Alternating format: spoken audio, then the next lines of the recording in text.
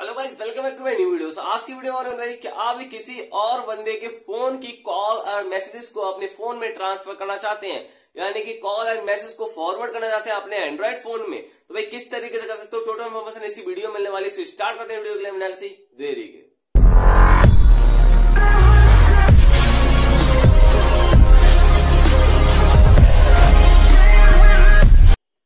Very good side में देख सकते हो? फ़ोन की स्क्रीन रिकॉर्डिंग आप परफेक्टली आपको शो कर रही होगी। यहाँ पर आपके लिए देखना सिंपली में क्या करना होगा एंड्रॉइड फ़ोन फ़र्स्ट ओपन कर लेना होगा यहाँ पर फ़ोन के लिए, ठीक है? जहाँ से आप कॉलिंग वगैरह डायल पैड को ओपन करते हो ना? कॉलिंग वगैरह करते हो, उसी को सिंपली आपको ओपन कर लेना है। यहाँ पर आपको डायल करना है स्टार हैश सिक्स वन ठीक है?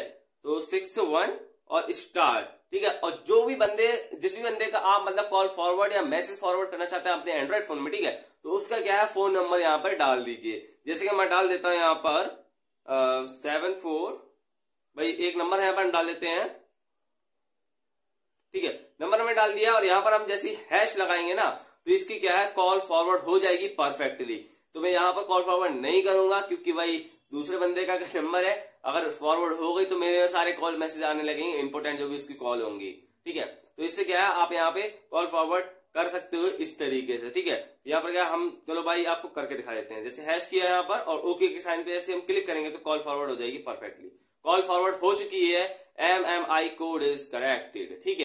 सो आई होप आपके लिए वीडियो इन्फॉर्मेटिव लगी तो वीडियो लाइक एंड चैनल के सब्सक्राइब से मिलते हैं साथ में।